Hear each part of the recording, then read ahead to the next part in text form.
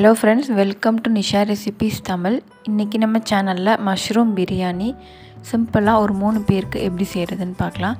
இதே மெத்தடில் குக்கர்லேயும் பண்ணலாம் கடாயிலையும் பண்ணலாம். இல்லை எந்த நீங்கள் பாத்திரம் வச்சுருக்கீங்களோ அதில் பண்ணலாம். இப்போ எப்படி செய்கிறதுன்னு பார்க்கலாம். இந்த மாதிரி உலக்கில் ஒன்றரை உலக்க அளவு நான் அரிசி எடுத்திருக்கேன். அதாவது கால் படி அளவு. இது கிட்டத்தட்ட முந்நூற்றம்பது கிராம் வரைக்கும் இருக்கும். அதை வந்து தண்ணி ஊற்றி அலசிட்டு நம்ம ஒரு கால் மணி நேரமாக ஊற வச்சுக்கலாம் சைடில் இப்போது ஒரு பேனில் ரெண்டு ஸ்பூன் அளவு நெய்யும் கொஞ்சமாக எண்ணெய் சேர்த்துட்டு தாளிக்கிறதுக்காக பட்டை கிராம்பு ஏலக்காய் மூணு மூணு அளவு சேர்த்துக்கிறேன். ஒரு பெரிய சைஸ் வெங்காயம் சின்னதாக கட் பண்ணி எடுத்து வச்சுருக்கேன் நீல வாக்கில். அதை வந்து சேர்த்துக்கலாம். நல்லா பெரிய வெங்காயம் மீடியம் சைஸாக இருந்தாலும் ரெண்டு வெங்காயம் எடுத்துக்கோங்க. இதுக்கு சைடில் நம்ம பூண்டு ஒரு ஆறு ஏழு பல் எடுத்துக்கோங்க. இஞ்சி ரெண்டு துண்டு ஒரு ஒரு கொத்து கொஞ்சமாக புதினாவும் கொஞ்சம் கொத்தமல்லி கழுவி எடுத்து வச்சுருக்கேன். க்ளீன் பண்ணிவிட்டு அதை சேர்த்துக்கலாம். ஒரே ஒரு பச்சை மிளகாய் சேர்த்துக்கோங்க காரத்துக்காக. இது எல்லாத்தையும் நம்ம கொஞ்சம் தண்ணி சேர்த்து அரைச்சி எடுத்துக்கலாம். இப்போ வெங்காயம் கண்ணாடி பதம் அளவுக்கு வதங்கிருச்சு. அதையும் தாண்டி கொஞ்சம் வதங்கட்டும். அப்போ தான் டேஸ்ட் வந்து ரொம்ப நல்லாயிருக்கும். இதுக்கு இடையில் நம்ம ஒரு தக்காளி கட் பண்ணி எடுத்து வச்சுருக்கோம். அந்த தக்காளியை சேர்த்துக்கலாம். நல்லா பழமான பெரிய தக்காளி.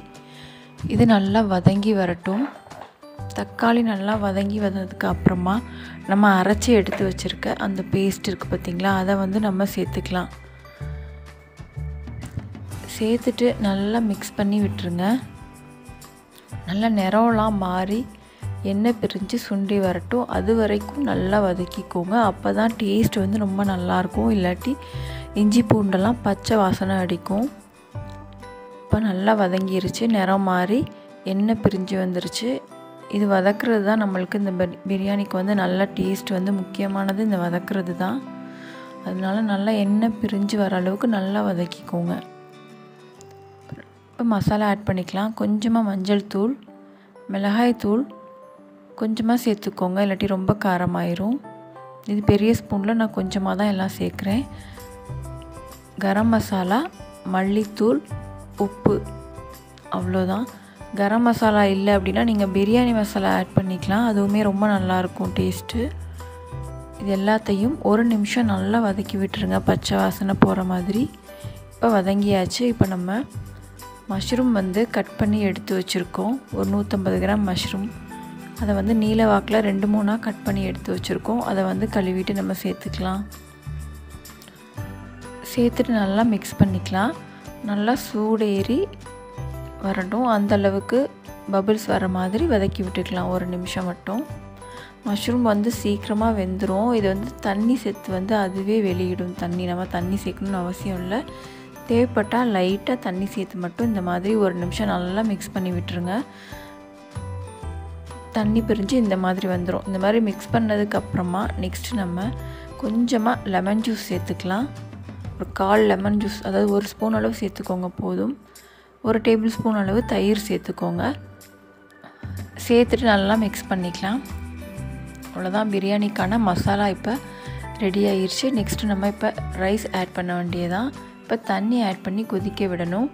அதுக்காக நம்ம அரிசி எடுத்தோம்ல அதில் ஒன்றரை பங்கு அளவு தண்ணி சேர்க்கணும். இப்போ ஒரு டம்ளர் அரிசி எடுத்தோன்னா நம்ம அதுக்கு ஒன்றரை டம்ளர் தண்ணி சேர்க்கணும். நம்ம ஒன்றரை டம்ளர் அரிசி எடுத்துருக்கோம்ல அதனால் மூணு டம்ளர் தண்ணி சேர்க்கணும்.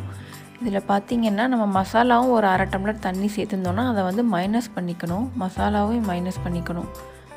இப்போ ஒரு டம்ளர் அளவு மசாலா தண்ணி இருந்தது அப்படின்னா நீங்கள் ரெண்டு டம்ளர் தண்ணி சேர்த்தா போதும். அந்த மாதிரி தண்ணி சேர்த்துக்கோங்க. சேர்த்துட்டு தண்ணி நல்லா கொதித்து வந்ததுக்கப்புறமா நம்ம கழுவி எடுத்து வச்சுருக்க அதாவது கால் மணி நேரம் ஊற வச்சு எடுத்து வச்சுருக்க பாஸ்மதி அரிசியை நம்ம இதோட சேர்த்துடலாம்.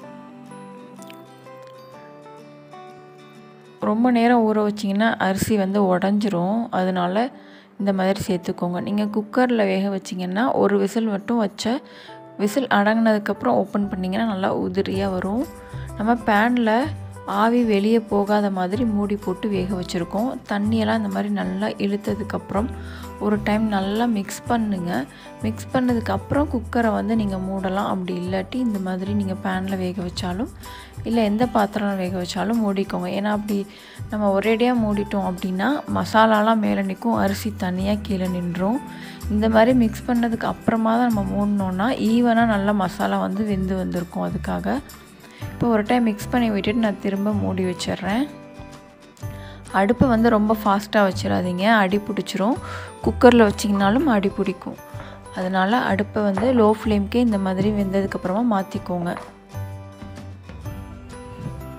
அவ்வளோதான் ரொம்ப ச தம்முலே பார்த்திங்கன்னா வெந்துடும் அதுவே. இந்த மாதிரி ஸ்டேஜ் வந்ததுக்கப்புறம் ரொம்ப அடுப்பை வந்து சிம்மில் வச்சுக்கோங்க. இப்போ அடுப்பை வந்து நம்ம சிம்மிளில் வச்சுட்டு இன்னும் ஒரு நிமிஷம் நம்ம வேக வச்சோன்னா தண்ணியெல்லாம் நல்லா இழுத்து வெந்துடும் கொஞ்சம் பாசுமதி அரிசியாக இருந்தாலும் கொஞ்சம் பிசு பிசுன்னு இருந்தாலும் பார்த்திங்கன்னா ஒரு ரெண்டு நிமிஷம் அடுப்பை ஆஃப் பண்ணதுக்கப்புறம் நல்லா உதிரியாக வெந்துடும் ஏன்னா நம்ம லெமன்லாம் ஊற்றிருக்கனால நல்லா உதிரியாக வெந்துடும் நம்ம ரொம்ப மிக்ஸ் பண்ணிகிட்டோம் இருந்தோன்னா அரிசி வந்து உடஞ்சி போயிடும் அதனால அவ்வளோதான் அடுப்பை ஆஃப் பண்ணிவிட்டு ஒரு ரெண்டு நிமிஷத்துக்கு அப்புறம் ஓப்பன் பண்ணி இந்த மாதிரி சர்வ் பண்ணுறேன் உதிரியான பாசுமதி அரிசி மஷ்ரூம் பிரியாணி ரெடி ஆயிடுச்சு நீங்களும் ட்ரை பண்ணி பாருங்கள் இந்த வீடியோ உங்களுக்கு பிடிச்சிருந்தா மறக்காமல் சேனலை சப்ஸ்கிரைப் பண்ணுங்கள் லைக் பண்ணுங்கள் கமெண்ட் பண்ணுங்கள் ஷேர் பண்ணுங்கள் மறக்காமல் உங்கள் ஃப்ரெண்ட்ஸ்க்கும் ஷேர் பண்ணுங்கள் தேங்க்யூ